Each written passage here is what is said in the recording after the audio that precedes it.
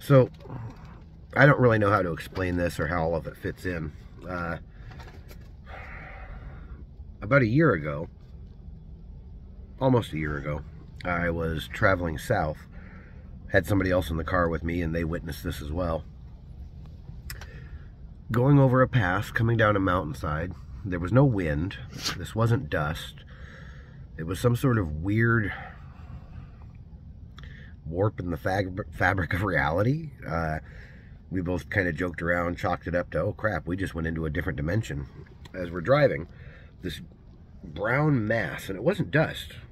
It was just in that one spot. There was really no dust in this area. I've driven through this place many a times. Uh, there is dirt, but it doesn't. This place blows a lot, and it wasn't blowing that night, and there was no, no, no way it was dust. And the whole car kind of shifted for a second, and so did the road itself. It wasn't like the car just veered into the other lane. It was like the entire world kind of shifted as this brown mass that we saw kind of crossed in front of us. And we kind of joked and like, oh, we're in a different dimension. I hope it's a better one now. Well, two nights ago, I was driving back from the city I was going into town to get supplies from, and the same thing happened. This time I didn't have a witness. Um, I don't know if it's some kind of glitch in the programming or glitch in the matrix, or maybe it is a dimension shift or a shift to a different server. Uh, and I'm wondering if anybody else felt this. Today is Tuesday. I think it's the 7th. This was two nights ago, so I guess it was Sunday, probably around 9, 10 p.m.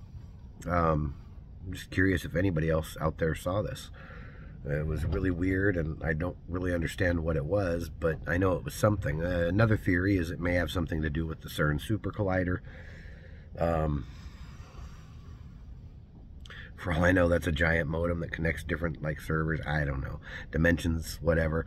I don't really know what it's doing, but I think we all know it's doing something. Did they fire up CERN the other night?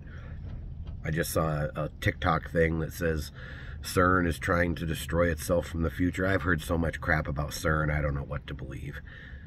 If I ever really put my mind to it, maybe maybe that's a big mission I got to figure out. How the hell would I even go about that? Research, I guess, would be the first step. Um, but for now, I just needed to note this, that this happened again the other night. And it does feel like I'm somewhere else. It actually feels like I'm back where I was. So maybe things kind of fix themselves a little bit. I don't know. We'll see how the game plays out from here.